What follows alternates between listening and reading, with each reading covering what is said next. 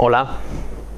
En esta última masterclass de la parte de responsabilidad social corporativa o empresarial, he querido terminar eh, haciendo una reflexión y haciendo, enseñándoos parte de lo que fue el proyecto de alineamiento de la empresa Holcim con la política de responsabilidad social corporativa de todos los valores que previamente había construido.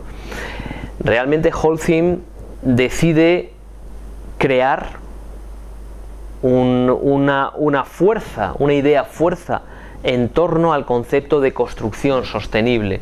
Y ahora veremos por qué. Ahora veremos por qué. Realmente es un poco algo muy importante que cuando analizamos otras empresas vimos, vemos que no existe ese alineamiento con la cadena de valor.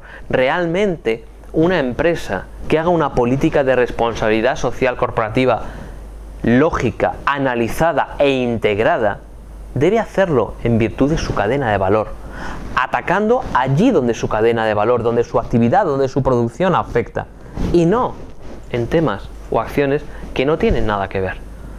A veces es más fácil tratar de desviar la mirada, pero lo valiente es atacar al problema real y tratar de mejorarlo, porque al mismo tiempo estás asegurando y mejorando el futuro de tu empresa. En este caso os voy a poner el ejemplo de la Holcim Foundation for Sustainable Construction que creó Holcim en torno a ese concepto de la construcción sostenible, pero derivaré en otros ejemplos dentro de este mismo aspecto.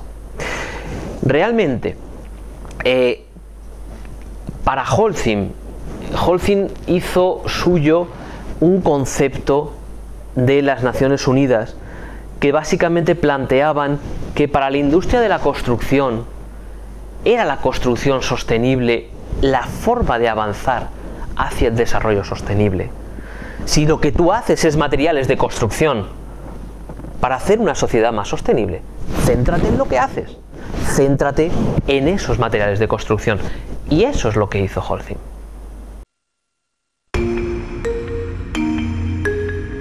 ¿Por qué rodearse de visionarios? De entusiastas. De soñadores.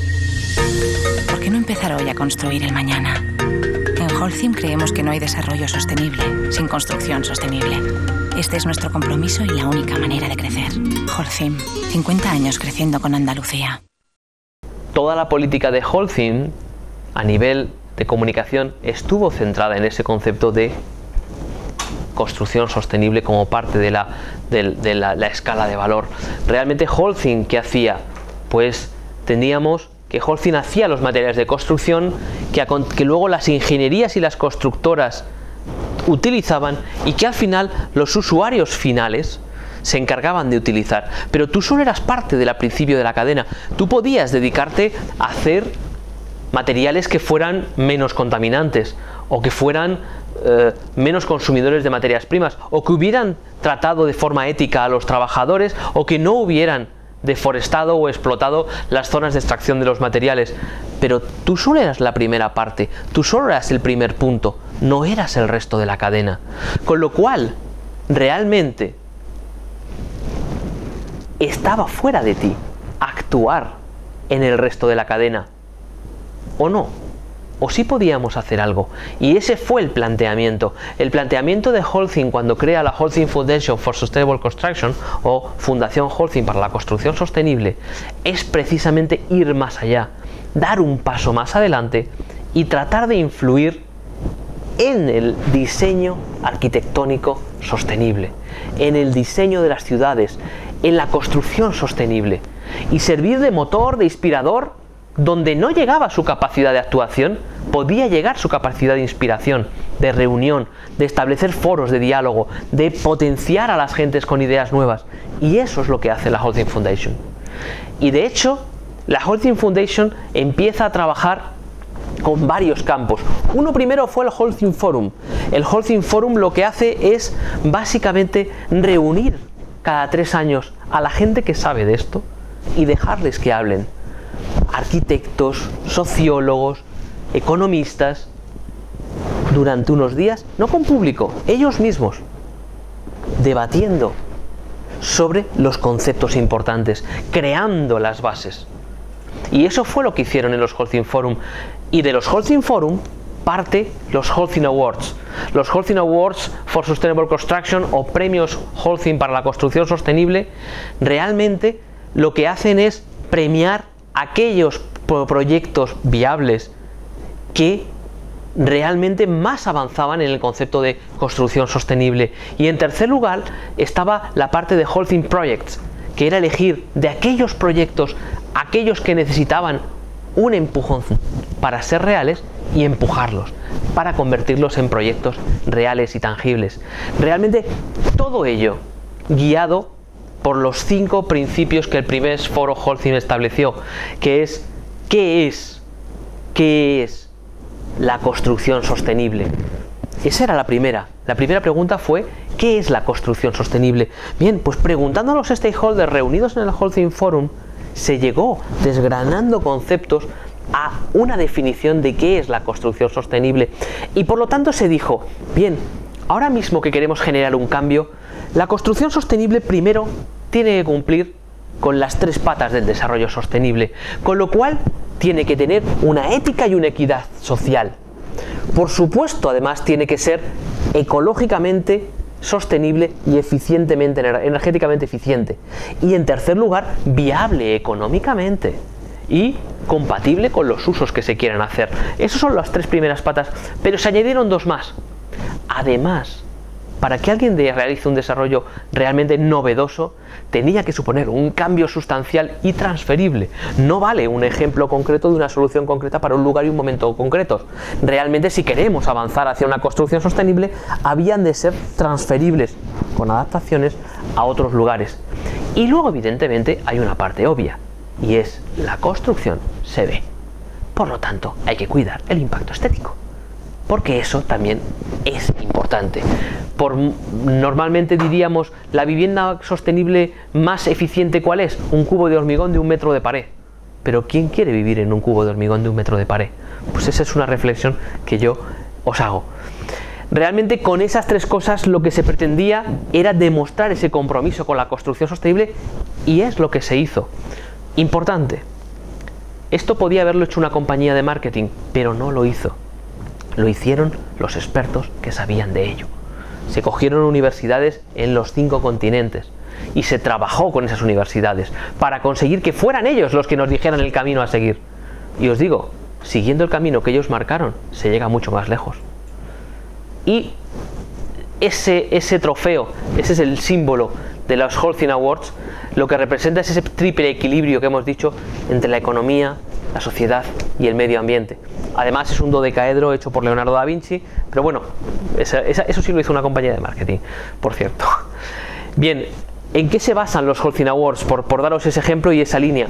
Bueno, en hacer cinco ceremonias regionales y una global. Digamos que hubiera una posibilidad cercana de interactuar y de tratar y de trabajar en pos de que arquitectos de todo el mundo pudieran plantear sus proyectos. Esto seguía los cinco criterios que hemos dicho, porque había que ser coherentes. Es importante marcar una línea y mantenerla siempre. De tal manera que debían ser proyectos innovadores, éticos desde el punto de vista social, ecológicos, viables económicamente, no valían esos proyectos faraónicos que solo se pueden construir a base de muchos millones, y respetando el entorno y el impacto estético donde se iban a insertar. Y con esos cinco criterios se abrieron los Holcim Awards y la sorpresa fue que hubo más de mil proyectos en todo el mundo. Es importante saber por qué hubo más de mil proyectos. Bueno, se convocaban cada tres años, pero es que había dos millones de dólares en premio. Es decir, Holcim decidió que ponía cada tres años dos millones de dólares encima de la mesa para premiar a los mejores proyectos en construcción sostenible. Es cierto que si quieres hacer algo tienes que demostrar tu compromiso con ello. No es que los Holcim Awards fueran premios bien dotados. No es que los Holcim Awards fueran los premios de arquitectura sostenible mejor dotados del mundo. Es que eran los premios de arquitectura mejor dotados del mundo. ¿Y eso qué hace? Hace que todo el mundo se ponga a pensar. Y al final, el resultado valga mucho más de 2 millones. Que eso es fundamental. ¿Qué hacíamos aquí en España?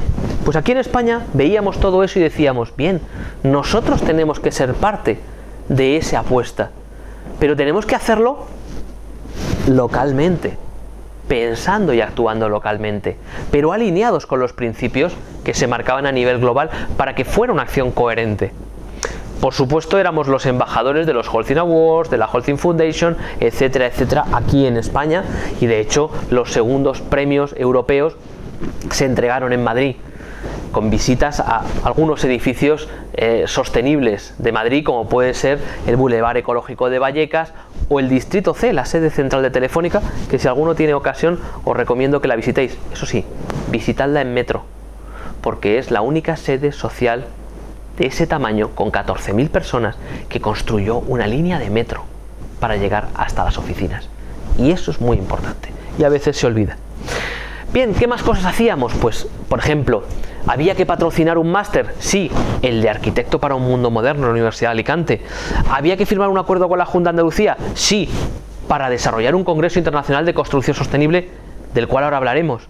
¿Había que apoyar algún tipo de premio en una carrera? Sí, por supuesto, el de Construcción Sostenible de fin de carrera de la ETSEA de Andalucía, de la, de la Escuela Técnica Superior de Arquitectura de Andalucía.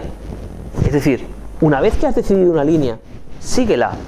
Porque en vez de regar con una regadera que cada gotita cae en un sitio distinto, estarás concentrando tus esfuerzos en una línea y los resultados son mucho mejores. Hay un efecto multiplicador sorprendente. Por ejemplo, en el caso de la apuesta por Andalucía, ¿por qué Andalucía? Andalucía era más del 50% de la facturación de Holcim. Lógicamente teníamos que estar comprometidos con esa región. Con lo cual, ¿qué hicimos? ¿Hicimos, patrocinamos un evento? No, lo creamos. Y lo creamos con la Junta de Andalucía, apoyándolo.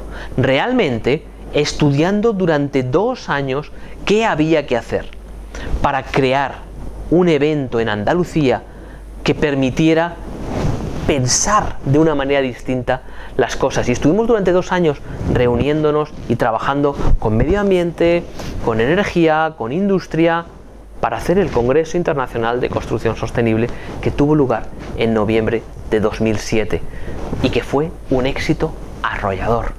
Y lo más importante, estaba tan bien planteado, tan bien concebido y con tanto tiempo que se autofinancia. Holcim había puesto mucho dinero para organizarlo, pero el programa era tan bueno, tan comprometido, tan real, que la gente pagaba su inscripción de muchísimas empresas por poder asistir a ese congreso.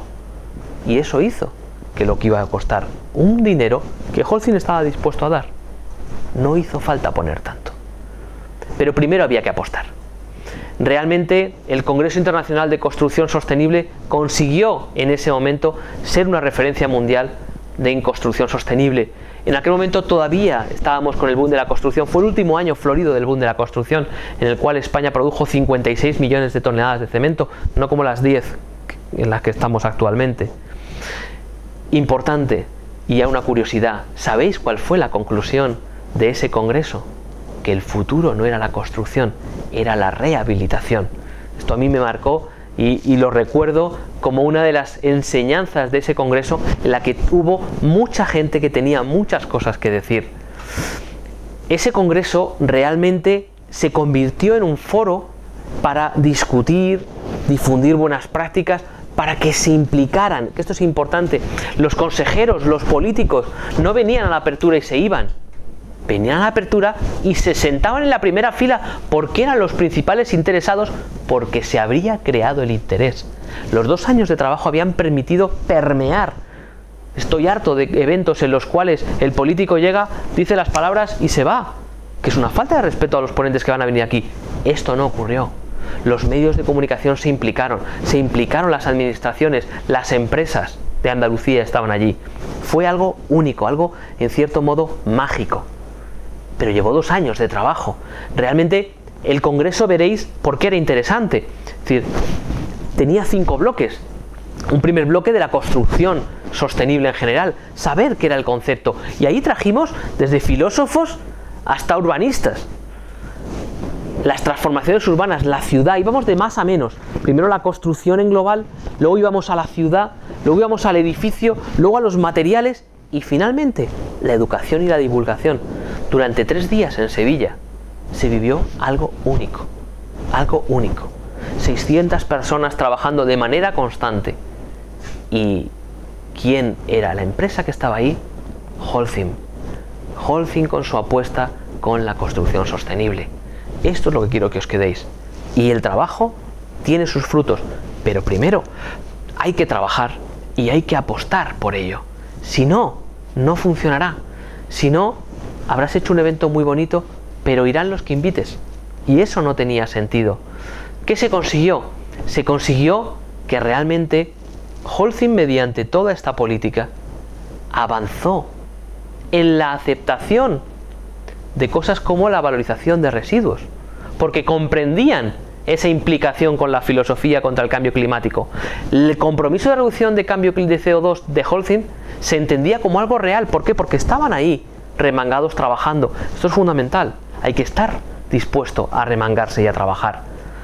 Además, por supuesto, la imagen de Holcim se vio como una em-, empresa socialmente responsable, que apostaba por la construcción sostenible más allá de su propia actividad. Y evidentemente, y esto como una cuestión general, con la seguridad como prioridad. Esto es algo que merece la pena. Y quiero que os quedéis con este último mensaje. Si una empresa quiere tener futuro, tiene que pensar en la responsabilidad social corporativa como única forma de hacerlo.